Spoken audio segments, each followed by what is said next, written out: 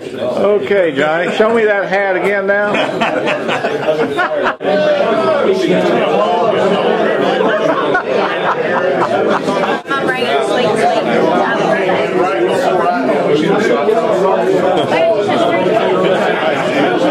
Sweet. If they ever, if they ever go under or get sold, we're screwed.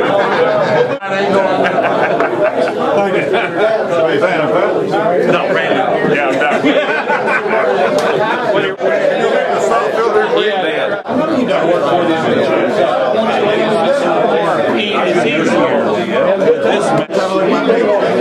Yeah, that upright breathing thing's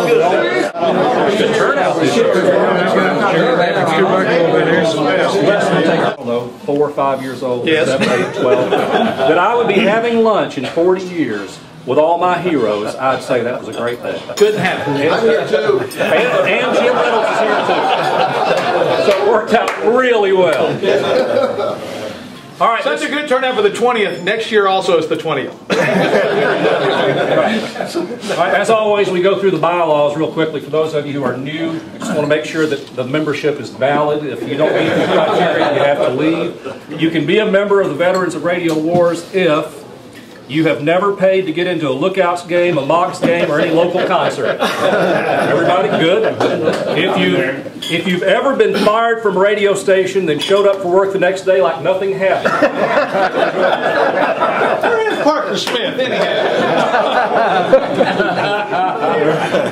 If you've traded out your apartment, your vacations, or your tires, this is a group for you. Johnny Eagle's here. He traded out hair. Two for one. If you've worked for Billy Benz, Colonel Sato, Ted Turner, Sammy George, Cy Hackle, Roy H. Park, or all of the above, you can be a member of this group.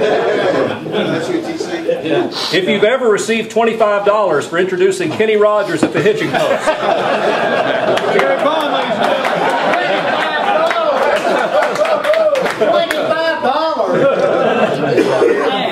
if you've ever used a 10-year-old Riverbend media and parking pass to get in the festival, it works, just in case anybody doesn't know that. If your entire music collection, Tommy, is made up of 45 RPM records with a hole punch and the label says promo use only. This is the Luther rule here. If you've ever spent an hour on the phone with Squirrely Shirley, that's not Luther, I have the wrong one. You might be a member. If you've ever done anything lewd, objectionable, or illegal with a radio station's copy machine, that's the Bob rule. If you consider the remote broadcast prize ban a way to meet women, you might be a member. If you've ever told a caller with a lost dog to call Luther. If you ever find yourself talking up the intro of a song while you're alone in your car, you might be a member. Does anybody else do that with me? I still hit it, buddy, right there. And finally, our new addition this year that Gary and I just figured out a few days ago. If you've ever gone into a production room and done this tag, distributed in Chattanooga by Beasley Distributors.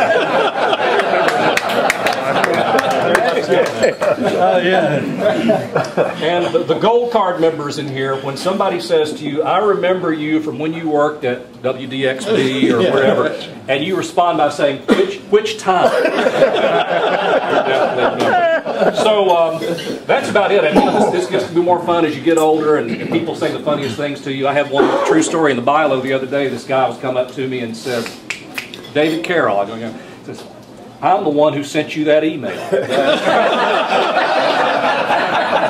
And I looked a little puzzled and I, I- said, help me out a little bit. He says, well, you know, it was about that story you did. That narrowed it down. I figured out who it was immediately.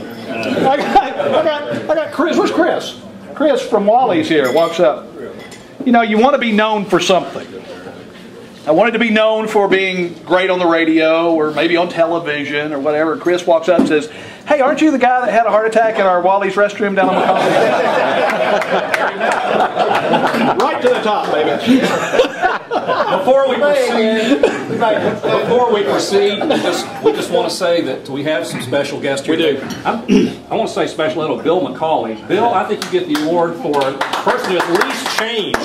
That's right. Because Bill's beard and hair were gray when he was 24. you haven't changed a bit. The rest of us are, you know, skin.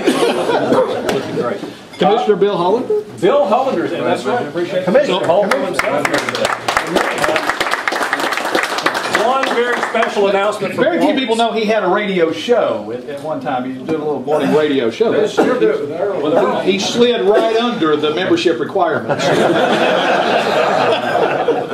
Could have been, could have been a contender. I mean, he was almost really in, and then it was with Earl. so we call that the Luther. I, you know, how long I've known Luther? What, 30 years? And every time I see him, I say, "Hi, Luther, Gary Mack," because you know, I just want him to remember. because of because of what I call the Big John Anthony rule. What does that mean?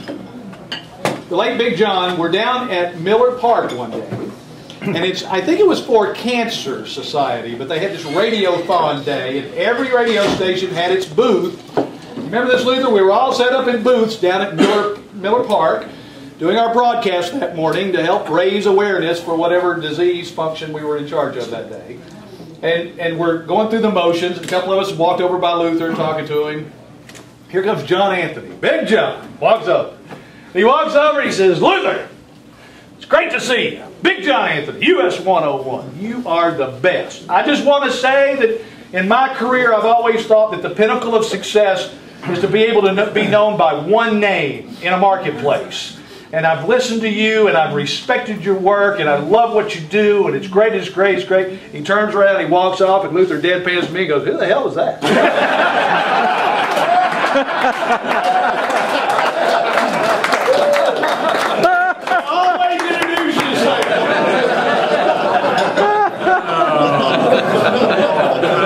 It'd be better to ask how many people in here work for Cyan Bahakel. Everybody raise their hand. Because most people, most people in here. Luther, raise your hand. Oh, yeah, I work for him, yeah. Uh, thanks to Ben Cagle, I went back to WDOD. and now I'm taking care of the Baptist. Wait a minute. Explain this. A little bit, I mean. The phone rings in the TV 12 newsroom, and it's Ben Cagle. And Ben says, Earl, can you come up here a minute? Yeah, I'll be, be right up. He come in, I, uh, he opened the door, and I sat out on the couch.